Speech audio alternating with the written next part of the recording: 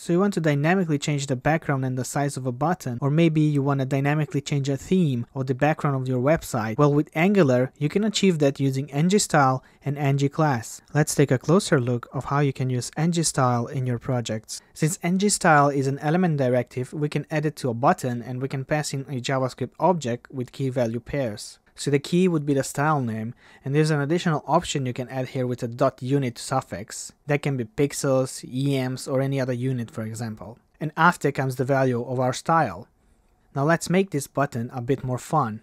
How about on every click we will change the background color to a random color and we will change the width and the height to some random values. First, we create a default style for the button. Then we can create a my random button property and our colors array. These will be the available colors for the background of the button. Next, we need a random number generator. So we can go ahead and make a get random number method that will take a minimum and a maximum value and it will return to us a random number between a given range. And we can use here math.random since we don't want to have decimals in our numbers. Next, we will create our get random colors and size method and we will set my random button property to equal to this new JavaScript object. So for the background color, we can randomly choose a color from our array. And for our width and height, here we're going to use the dot unit suffix with pixels. Now we can just add our property and our click event to the button and we can run the application. As you can see, every time we click the button, we get a new color and a new size for our button. Now let's take a look at the ng class directive ngClass is similar to ng style and we can use it in three ways.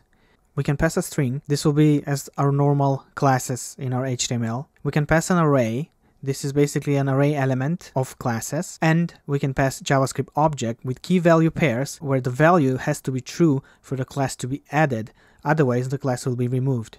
Let's see an example now of how we can add or remove a class that will make the text yellow on a click of a button.